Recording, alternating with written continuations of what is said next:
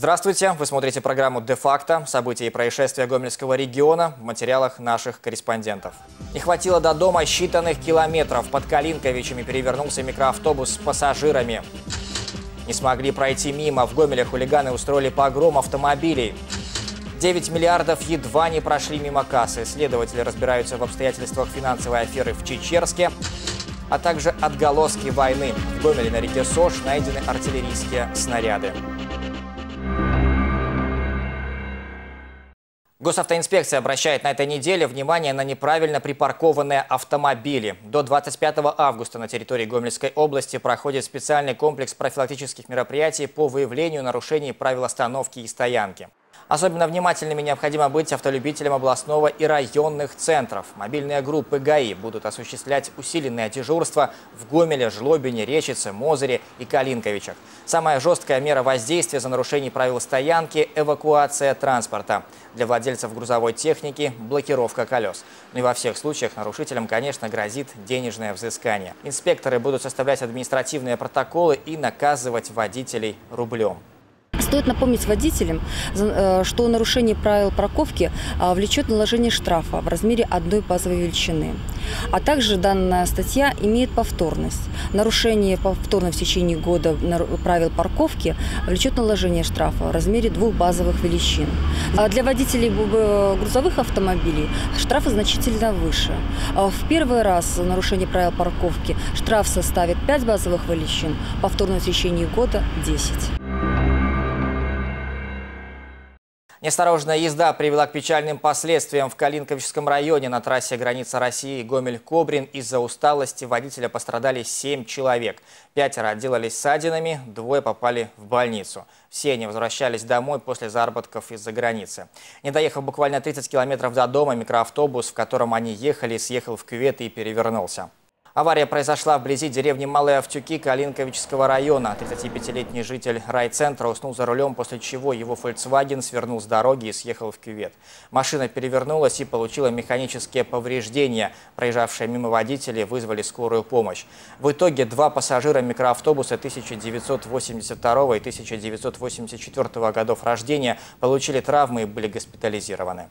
Хочется напомнить водителям, что согласно пункта 10.2 правил дорожного движения водителю запрещается управлять в утомленном или болезненном состоянии. К сожалению, такое состояние может привести к таким печальным последствиям.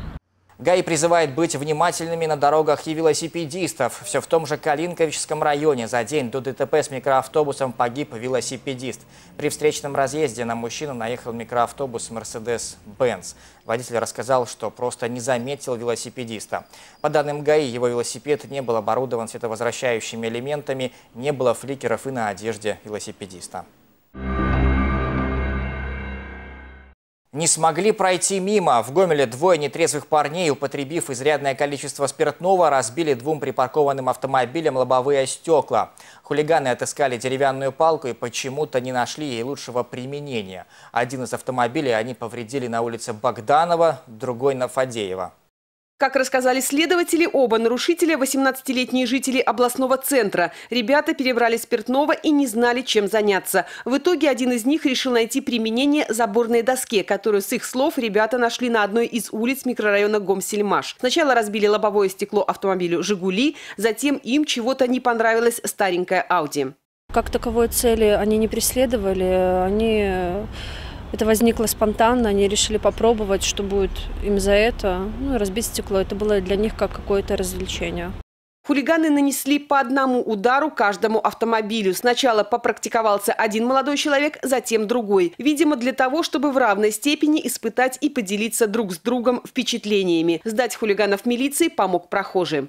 В этот момент, когда они повреждали стекло в одном из автомобилей, на улице находился очевидец, э, который шел домой. Он услышал тупой стук, э, на что он прибежал во двор, увидел двое убегающих парней. Одного из них он остановил, попросил предъявить паспорт. Э, один из наших обвиняемых предъявил паспорт. Он записал его данные, после чего сообщил о данном сотрудникам милиции. В результате причиненный автовладельцам ущерб был возмещен уже на следующее утро. За детей внесли деньги родители, но, несмотря на это, против совершеннолетних нарушителей в Следственном комитете возбудили уголовное дело по статье «Хулиганство, совершенное группой лиц». Ранее молодые люди не имели проблем с законом и характеризовались положительно. Модернизация на Чечерском винзаводе закончилась возбуждением уголовного дела. Предприятие, получившее деньги из госбюджета, решило направить их на создание участка линии выпаривания яблочного сока – в итоге, если бы не вмешались правоохранители, вместо сока быстрее бы выпарилась часть выделенных средств. Аванс в размере 9 миллиардов рублей был переведен на счет минской фирмы, однако подписанный акт выполненных работ под сомнение поставили сотрудники УБ ПВД Гомельского облсполкома. Как оказалось, вместо новой итальянской линии минский предприниматель приобрел в России ее дешевый аналог. Поставленное же оборудование скорее напоминало металлолом. В результате осмотра данного оборудования и проведения экспертизы было установлено, что это линия бывшего употребления, которая абсолютно не соответствует заявленным требованиям. На основании собранных по делу доказательств следствием предъявлено обвинение жителю столицы в хищении путем злоупотребления служебными полномочиями в особо крупном размере. К нему применена мера пресечения в виде заключения под стражу. Кроме того, были приняты меры к возмещению ущерба. На имущество обвиняемого уже наложен арест на сумму около 6,5 миллиардов рублей. Сюда вошла квартира в Минске и дорогостоящий автомобиль. Следствию же еще предстоит разобраться, почему в милицию не обратилась администрация завода. Не поладили всерьез. В Гомеле расследуются обстоятельства уголовного дела, при которых был убит 45-летний пациент кожно-венерологического диспансера. Среди обвиняемых знакомая погибшего, 29-летняя пациентка того же учреждения, с которой накануне произошедшего мужчина распивал спиртные напитки. После проведенного досуга между ними произошел конфликт. В результате женщина несколько раз ударила мужчину ножом.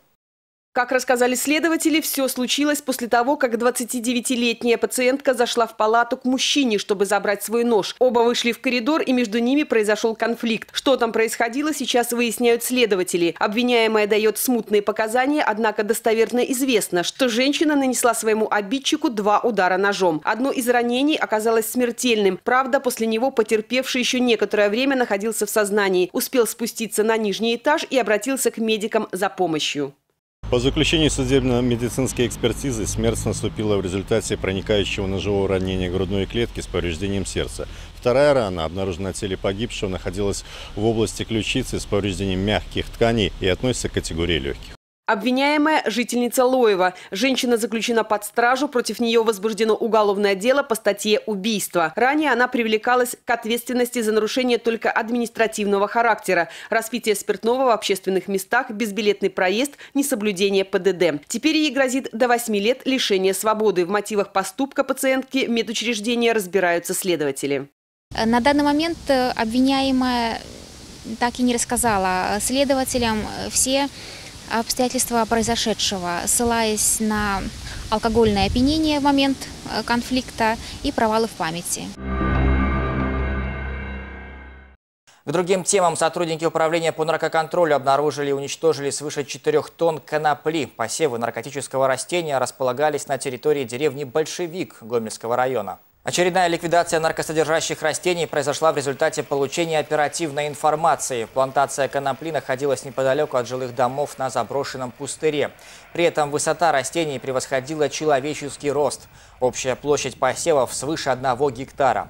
Скашивали коноплю сельскохозяйственной техникой, а уничтожали огнем. Надо добавить, что с начала специальной программы МАК на территории Гомельской области сотрудниками управления по наркоконтролю выявлено около 600 дикорастущих плантаций конопли и мака. Уничтожено около 40 тонн наркотических растений. К административной ответственности привлечены 267 человек. Ежегодно проводится спецпрограмма МАК э, конопля это уничтожается, но впоследствии она где-то в других местах произрастает тоже. Сама конопля может быть использована наркопотребителями для производства марихуаны с целью дальнейшего потребления.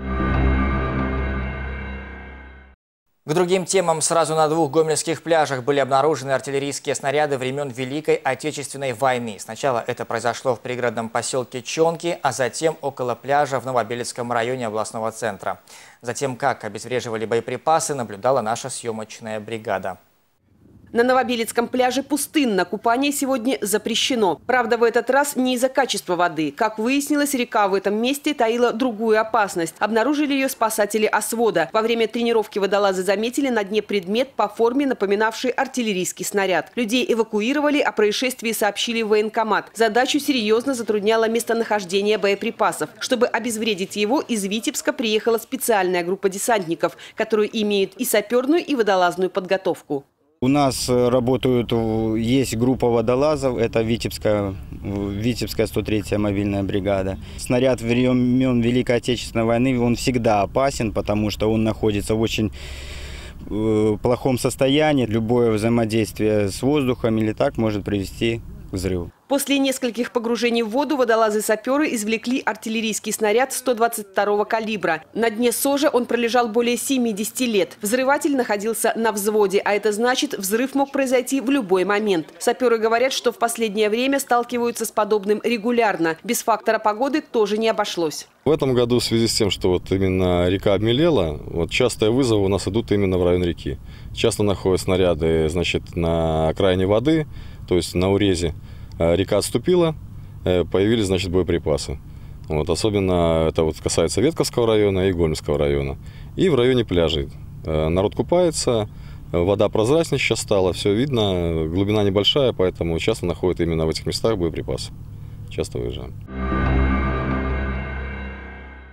Огонь поразил сердце ангела. Комиссия МЧС устанавливает причину возникновения пожара в кафе с одноименным названием. Происшествие произошло на прошлой неделе ночью, как раз когда в регионе наблюдалась гроза. Версию с попаданием молнии в здание кафе «Сердце ангела» специалисты рассматривают равно как и другие, хотя и считают ее маловероятной. В результате пожара в помещении было повреждено оборудование, а также кровля и потолочное перекрытие на площади в 130 квадратных метров. В последнее время в кафе велись ремонтные работы. Сейчас специальная комиссия выясняет, по каким причинам произошло возгорание, явилось ли оно следствием прохождения электрического разряда или имела место банальная беспечность рабочих. По прибытию подразделения МЧС э, было установлено, что происходит открытое горение кровли и непосредственно задымление внутри самого кафе. Э, пострадавших нет, так как на момент э, происшествия кафе не работало, так и происходили ремонтные работы внутри помещений. И это все, что мы успели рассказать вам сегодня. Будьте в курсе происшествий Гомельского региона вместе с программой «Де-факто». До встречи на следующей неделе.